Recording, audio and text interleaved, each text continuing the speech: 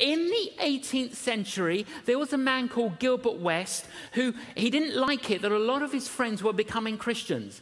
So he decided that he would write a book to disprove the resurrection. Because if you can disprove the resurrection, you can disprove Christianity. So he started researching, he started writing the book. Halfway through the book, he met Jesus, so he wrote his book the other way round.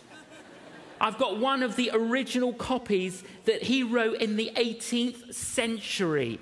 In the 19th century, there was a very famous atheist in America called Ingersoll. He didn't like it that Christianity was growing.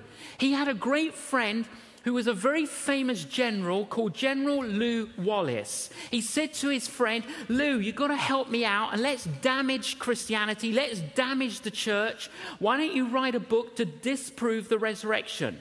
So Lew Wallace began to write his book. Lew Wallace actually had a wife who was a Christian, so she was praying while he was writing. He got to chapter four, he met Jesus, so he wrote his book the other way round. His book is called Ben Hur.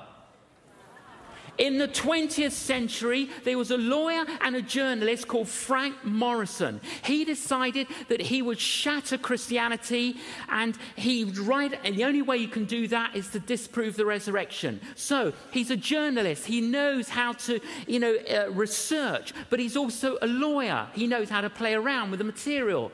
But but he got so much evidence Halfway through the book, he met Jesus, so he wrote his book the other way round. His book is called Who Moved the Stone? So if you're in a hurry to meet Jesus, try and write a book to disprove the resurrection.